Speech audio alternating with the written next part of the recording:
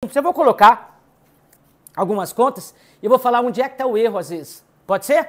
Beleza? Então, tipo assim, vamos lá. Adição e subtração. Baba, todo mundo sabe, não tem segredo. O grande problema, e aí eu vou dar uma dica para vocês. Ó, vamos lá. Mais 7 menos 5, uma continha aqui, deixa eu fazer devagarzinho. Joia. Depois, menos 2 mais, vamos colocar um númerozinho bonitinho, mais 8. Depois eu vou colocar menos 3, menos 5. Depois eu vou colocar mais 2, mais 7. Pronto, tá aí. Bom, você viu que eu misturei todos os sinais aí? Tá? Veja bem, isso é só adição e subtração. Na matemática, na verdade, é uma frescura. Eles dizem, inclusive, que na verdade não existe subtração. É uma soma pelo oposto do número que vem na frente.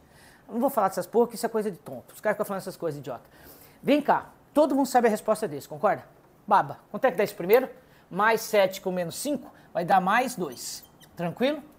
Jóia? Menos 2 com mais 8 vai dar mais 6. Jóia? Depois, menos 3 com menos 5 dá menos 8. Jóia?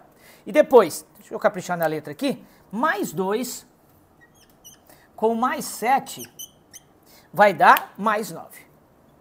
Todo mundo sabe fazer isso? Posso dar uma dicasinha rapidona para vocês?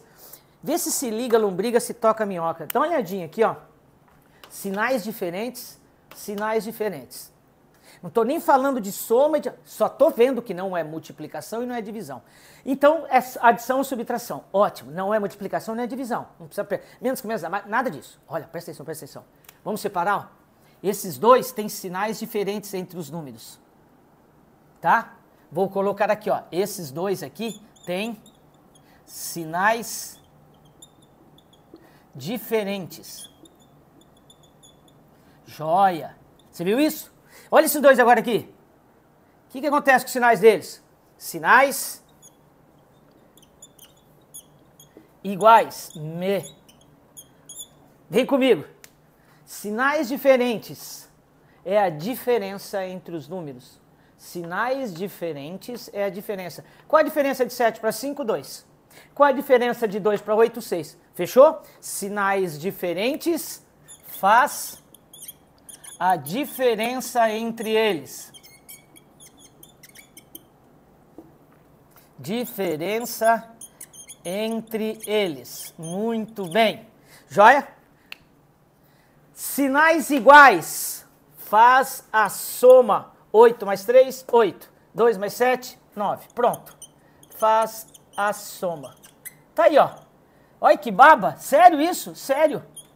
Olha lá, ó. Quando você está somando ou subtraindo sinais iguais, sinais iguais, você faz a soma. Sinais diferentes, você faz a diferença. Até dá para você guardar, ó. Sinais diferentes, você faz a diferença. Sinais iguais, você faz a soma. Tá, e qual o sinal que eu coloco? Então vamos lá? Para não errar mais, hein? Olha lá. Que sinal que eu coloco aqui quando eu vejo a diferença? Ah, é 2, mas qual sinal eu vou pôr? Sinal do maior. Sinal do maior. E aqui embaixo? Se eu tiver aqui só o quê? Repete o sinal. Vamos focar aqui agora? Gente, ó, presta atenção nessa dica que se aprender uma vez não precisa mais. Como é que eu vou somar isso aqui? Eu, eu, Heraldo, eu, professor, professor, eu não posso somar assim na linha, não, eu gosto de somar na coluna. Muito mais fácil, quer ver, ó? 2,3 mais 1,25 e o ideal é vírgula embaixo de vírgula. Olha aí, ó. A soma desse jeito é muito mais difícil de você errar. Tá? Então eu sempre faço desse jeito. Só colocar vírgula. Ó, e sempre que tiver decimal a partir de agora, gente, o problema todo é a vírgula. Na verdade não é a vírgula, é o que vem depois da vírgula tá bom? Uma coisa que quase ninguém se liga. Você sabia que o número inteiro também pode ser escrito em forma de decimal, de vírgula? Que jeito? Como é que eu escrevo 3? 3,0. Como é que eu escrevo 52? 52,0. Então todo número inteiro, na verdade, tem uma vírgula e depois o zero, tá bom? E aqui, ó, todas as operações que a gente vai fazer aqui, a porra da, da, da, da vírgula tem que ser notada. E sempre, ah, vou contar quantas casas tem depois da vírgula. Quantas tem aqui? Duas. Aqui, uma. Então não faz. Você vai aqui e completa com zero, porque número zero à direita não altera o número. Eu posso colocar quantos eu quiser, à direita eu posso colocar. À esquerda também, depois a gente fala sobre isso. Mas o ideal é que você deixe a mesma quantidade. E agora, sabe o que é legal? Esquece a vírgula. Você só pega ela e fala assim, um, dois, embaixo, agora esquece ela. Como se ela não existisse, ó. Como se ela não existisse. Ela já está aqui embaixo.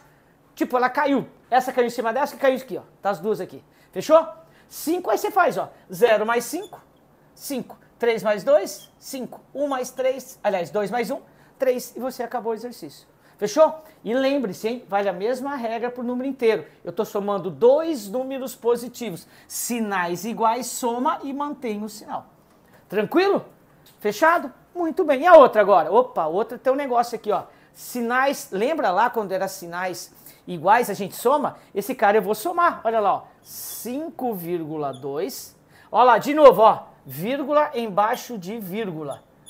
Beleza? Lembrando, esse é menos 5,2 e menos. E quando eu tenho sinais iguais, eu somo e mantenho o sinal. E agora o que eu vou fazer? Eu vou somar eles, ó. Na verdade, eu vou somar eles.